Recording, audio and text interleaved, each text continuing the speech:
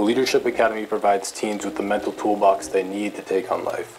And it's done so in an environment that tears down the barriers, the walls, the mask that we make in a positive way, while simultaneously showing us how to reconstruct ourselves to be ourselves with the tools they teach us to use. Something for your mind, your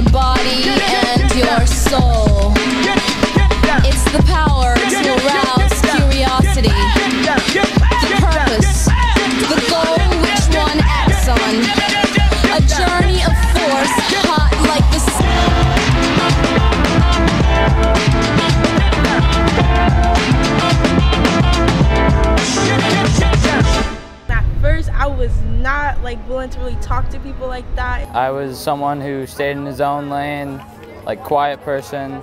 I was kind of closed-minded and not like my best self.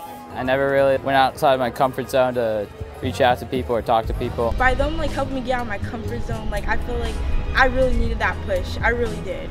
Um, talking to people, making new friends, all that. It's really hard to put into words, but I've never experienced anything like this. How would you describe this experience? Really can't. It's it's unexplainable. Like I don't think anything I've, I've, I'll ever do in my life will top this or even like come close to meeting how I felt here. This academy changed me, like especially this year, I was more open. I got to share my story and connect with people. And I got to cry and I don't really cry. So that's like, that's different. Like